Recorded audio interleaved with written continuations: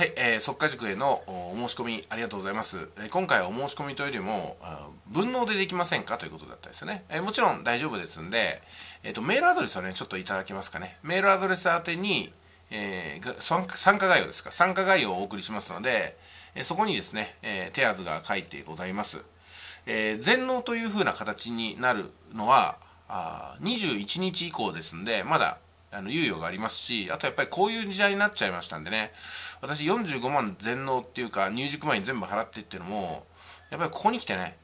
改めようかと思うんですよ、うん、まだちょっと分かりませんけども、うん、今のところは、えー、塾代金は30万で30年間分割。頭金3万円という形は崩しておりませんのでそちらの方でお申し込みいただければと思います。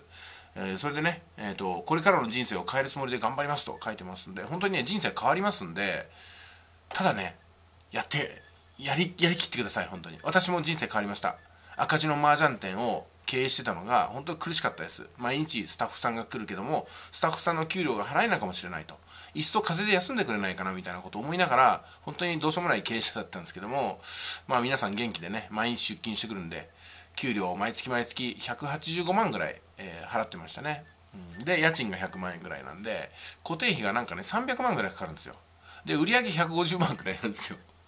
そんな店がね毎月毎月赤字を垂れ流す中でこれはいけんなと。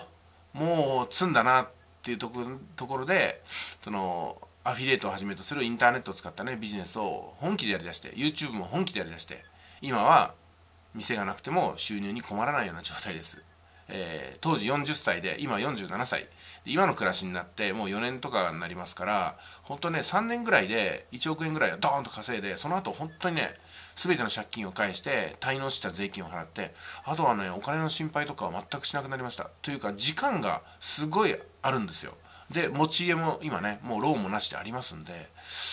本当素晴らしい人生だなと思います。ただ本気でやらないとなかなか自分の人生は変わりません。自分の人生本気で生きれば本気の人生になります。でも本気になれないと苦しみがねすごく後悔と苦しみが残る人生になると思います、まあ、これから本当に一緒に、え、人生を取り戻していこうという気持ちで私も考えておりますので、え、よろしくお願いします。それではですねメールアドレスをお出ししておきますのでそちらの方にちょっとメールをいただけますかね。そうすると参加概要を送り返すことができますんで、えー、よろしくお願いします、えー、LINE で返信してもいいんですけどもかなり長くなっちゃうんですよ。LINE だと読みにくいと思います。あとね